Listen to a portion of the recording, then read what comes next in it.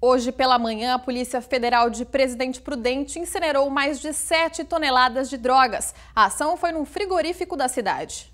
Um caminhão basculante fez o transporte da droga, incinerada nesta manhã, num frigorífico em Presidente Prudente.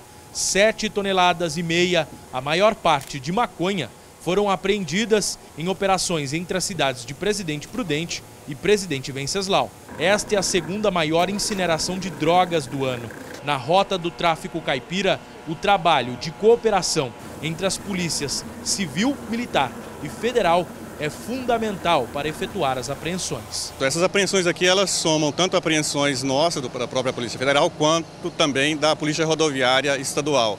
É, na realidade, a gente tem que ressaltar que esse trabalho em parceria vem sendo desenvolvido ao longo dos últimos anos e resulta nessa, nos resultados que a gente consegue demonstrar aqui na data de hoje, volume bem expressivo de entorpecente que a gente tirou de circulação. Interessante até mencionar que em menos de um ano foi formalizada aqui na Delegacia de Polícia Federal em Presidente Prudente a apreensão de mais de 40 toneladas de entorpecente.